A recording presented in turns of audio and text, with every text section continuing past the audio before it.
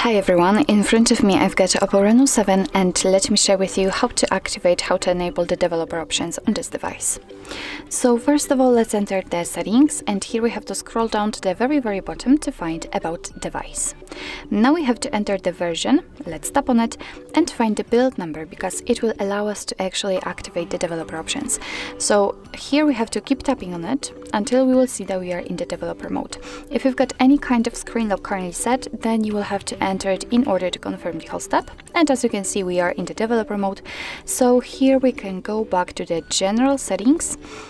And now let's enter system settings. Here we have to scroll down and as you can see the developer options are right here, so let's enter.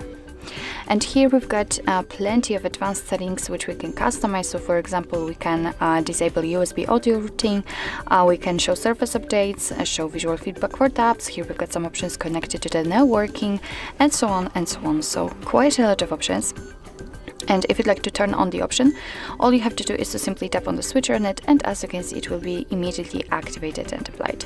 Of course you can turn it off the same way. If you've got the options without the switcher, like um, here for example in the window animation scale, just tap on it in order to open much more advanced settings.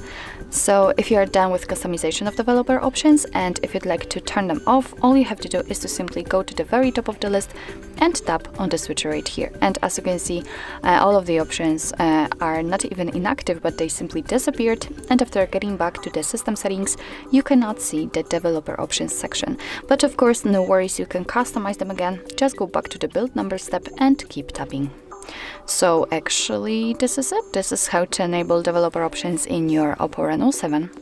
Thank you so much for watching. I hope that this video was helpful and if it was, please hit the subscribe button and leave the thumbs up.